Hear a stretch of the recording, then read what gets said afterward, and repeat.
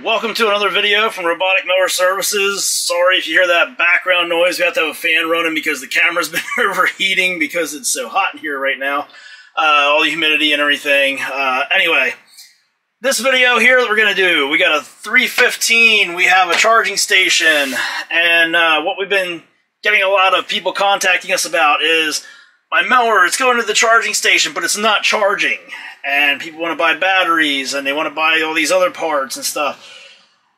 We we appreciate the business, but we want to make sure that we're selling you the right parts to actually fix the mower. So we want to show you here some stuff to go through to make sure that the parts you're ordering uh, are actually the parts that are going to fix your mower especially batteries, because batteries are number one, they're expensive, and number two, this year, uh, 2022, they've been on back order. A lot of the batteries just you couldn't get them, and it would take forever to get them. So, you know, we hate to see for you, we hate for you to buy an expensive battery, you put it in your mower, you put the mower in the charging station. Now the new battery's not charging either, and you still got to buy more parts. Or your mower just sat there waiting for a battery to come in, and then you get the battery, and it's like, oh, well, that didn't solve it. Now I still got to buy more parts and maybe that other part you're gonna order or gonna need is on back order now. So we're gonna go through this uh, kind of quick. You know, just give you the basics here, what you want to look for. You go out to your mower, out to the charging station. You want to look to see if the LED is lit up. That means that there's at least some power coming in from your transformer, low voltage cable, and into the uh, the charging station board. Makes no difference if it's flashing blue or solid green. That is irrelevant when it comes to the mower charging. As you can see here, this one's flashing blue because I have no wires plugged into it. And when I push this mower in here, there you go. You get the tone, it made contact, this is charging. So unless this is solid red, solid red means that there is a problem with the charging station board. Flashing red, flashing blue, solid blue, flashing green, um, solid green, flat. Where was that? Here, let me start over again.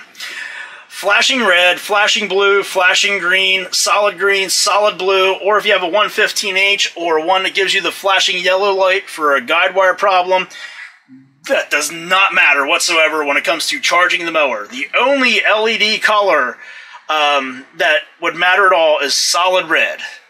If it's solid red, you know there's a problem here with your charging station that you need to look into and address. Other than that, you just want to see that there's actually power here coming into it. After that, you want to get yourself a multimeter. And I've said this before in other videos, what you're going to be doing here isn't really all that crucial. You don't have to spend a ton of money on a good, um, a good high dollar multimeter. You're just going to check for basic voltage here. So one of these cheap ones from your local hardware store or Harbor Freight or somewhere like that will work fine for what you're doing. You want to make sure you have it test. You want to have it set to the right thing. We see a lot of pictures of people testing this stuff on uh, social media groups, and they say, "Hey, look, you know, I'm plugging this in here, and it's not registering. I think I need a new power uh, power supply or something." And the whole problem is they have it set to 20 for their DC volts. Probably should mention that on the transformer it says this is going to be 28 DC volts coming in here. So DC volts, you don't want to set it to 20 because you're looking for 28, which is more than 20. So you want to go to the next higher up setting above what you're looking for. On this multimeter, it happens to be 200. So DC volts, 200, that's where we're going. And we know LED is on, so we have some power coming in here. We want to check to see what power is coming out at our charging contacts here on our charging station. So we're going to stick our probes in there. You can look in under there. You can see the red wire, you can see the black wire, so you know which one's positive, which one's negative.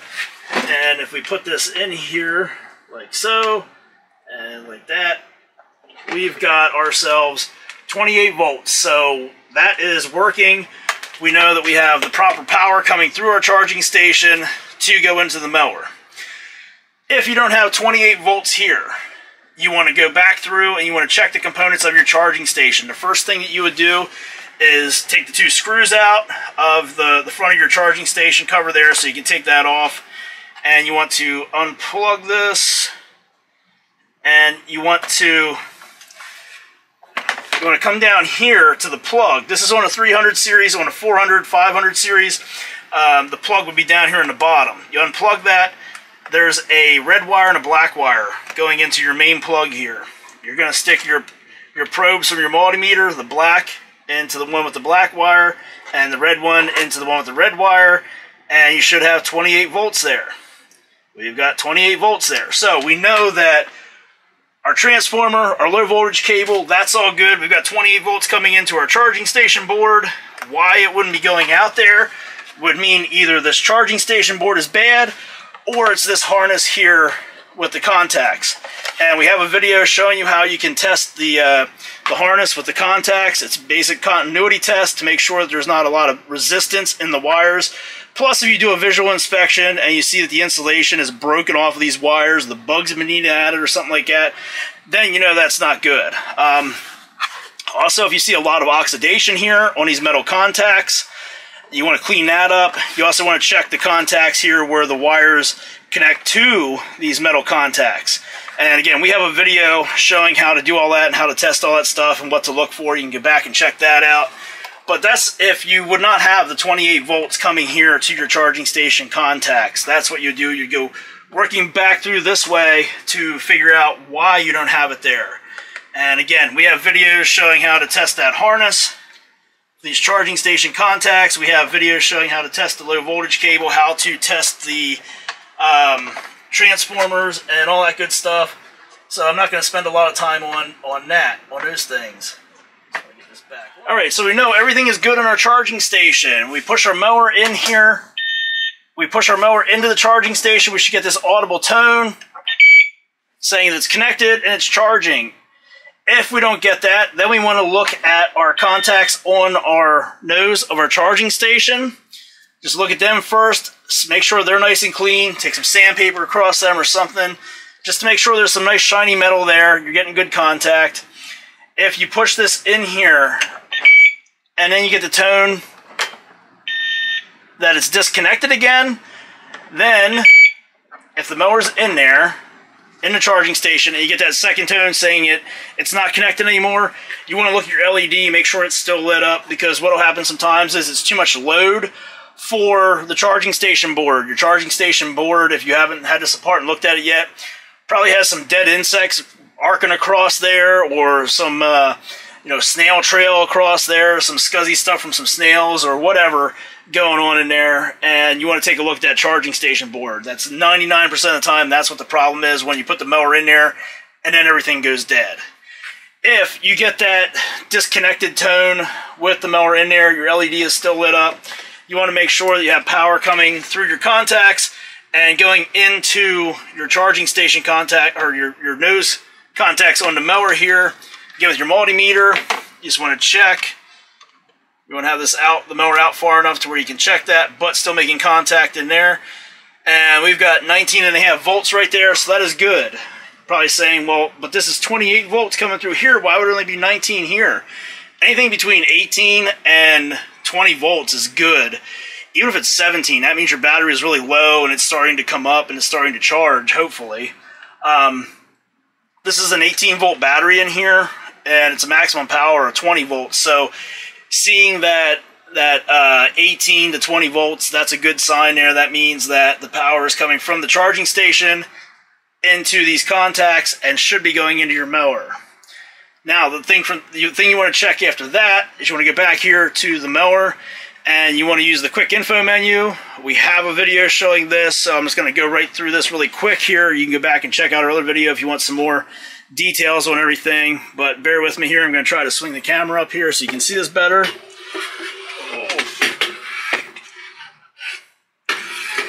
All right, get in there on that. All right, so you can be on this screen, you can be on the menu screen, doesn't matter. We're going to hold down the zero button and go to info, select OK, and then when we go down here, obviously to battery, and you're going to bring this up and you can see we're at 18.6 volts but the big thing is the current right here. 1091 92 94 milliamps that's our charge current. That's what's coming into the mower so our battery is charging. So with that coming in there you want to look next at your charge level 1394 milliamps that's where we're at it has a capacity of 1600 so at 1396 we're getting close to that 1600, which means that it'll be fully charged. If this is down around 100, then your battery was basically completely dead. Now, on a 300 series, you're going to have to give this thing some time. Even on a 400 series, you're going to have to give it a little bit of time. Uh, the 300 series just takes a little bit more. 115H, it's the same way. Let that thing charge up to where it's it's up there around a 1,000 milliamps before you try to remove it from the charging station.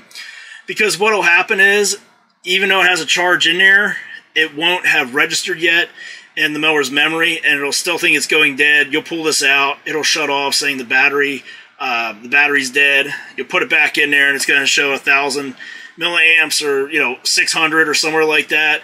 And you're gonna say, well, "What the heck's going on? It's not dead." Just let it charge up. Let it charge up. This will jump up to the 20 volts there. But this is how you can tell that everything is working fine. It's coming from your your transformer, through your low voltage cable, through your charging station, through all the harnesses and the contacts and everything else, and getting into your battery.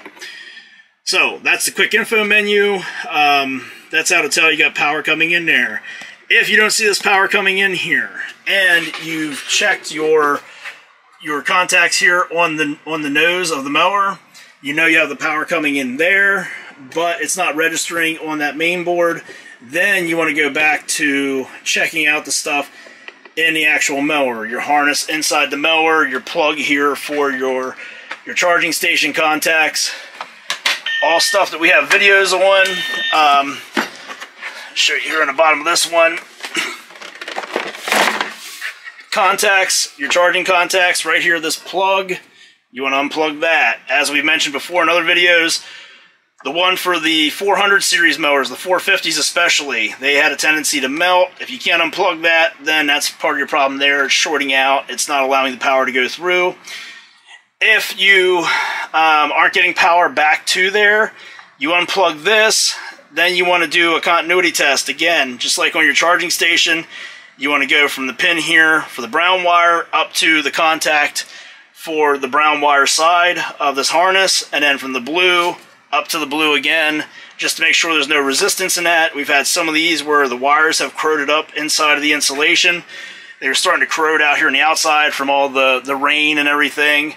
And um, that could be causing your, your power not to be going through this harness, through this harness, and into your main board, and then into your battery. So you want to check that. If that tests good, that has low resistance in it. Next thing would be the harness here that goes from this plug back to your main board. To do that, you have to split the mower open. And luckily, we've already got this one split open, so it'll save us some time. Let's pull that off there.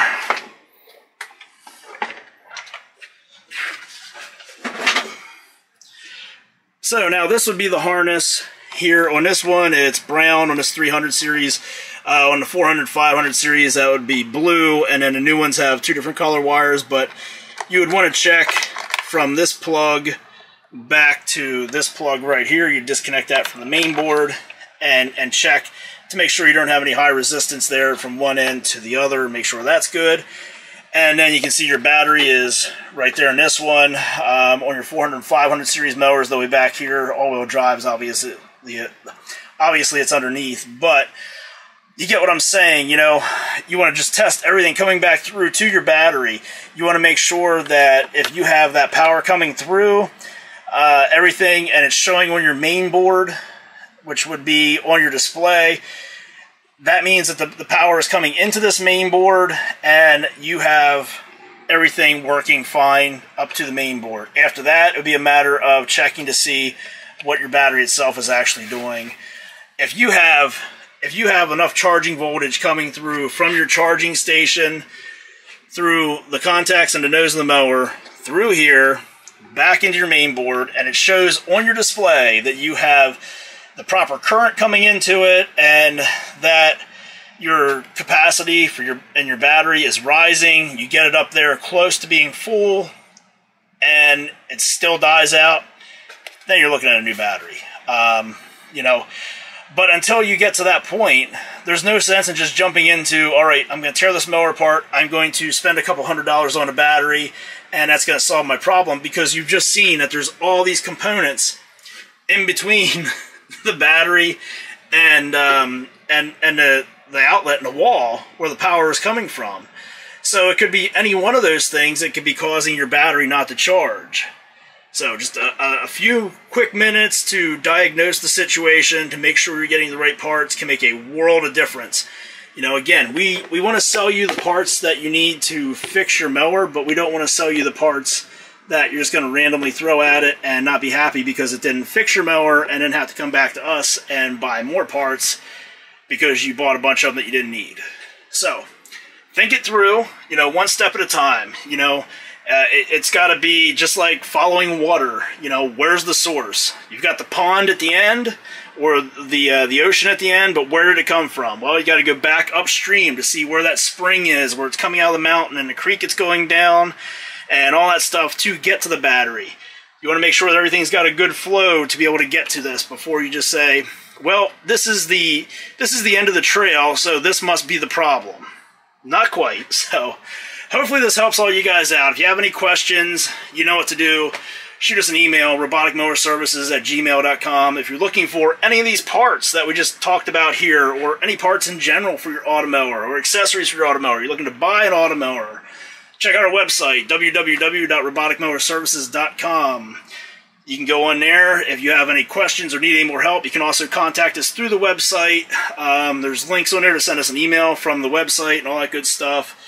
So that's going to do it for this video here. Hopefully this helps a bunch of you guys out that are having problems with uh, your mowers not charging. You get the basics now. And again, you know, it, it does get a little bit more technical here and there, but these are the basics of what to look for and what to check so that you can hopefully get this figured out and fixed up without having to uh, get a dealer to come out to your house or wasting a lot of time where your mower could be out there mowing. That's going to do it for this video. As always, be sure to subscribe to this channel and thanks for watching.